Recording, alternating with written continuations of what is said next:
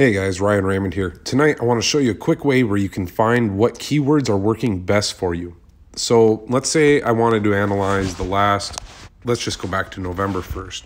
I'm going to click go. There's my total sales. And what I want to do here is I'm going to just, I'm doing this on my phone and I'm just highlighting the whole page. Coming down here, grabbing all of my listings, hitting copy, and I'm coming over to this new tab. I'm coming to this website called TagCrowd. And I'm going to paste my text into here and hit visualize.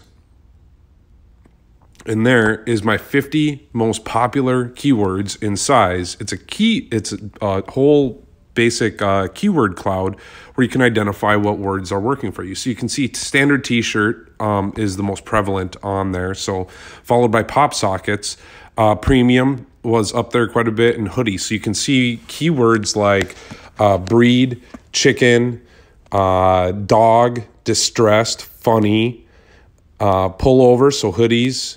Um, what else we see here? Teacher, retro, paw, mystery, kids, um, rat, snowmobile. So kind of gives you a overall visual um, look at what keywords were your um, best, most prevalent. So to be on here, it would have had to come up multiple times on the page. Uh, you can come down and you can adjust this to look at the top 50, 100, and tweak it however you want. And so this is tagcrowd.com. So this is just a quick video of how to do this on your phone. Thanks, guys, and I'll see you in the next video.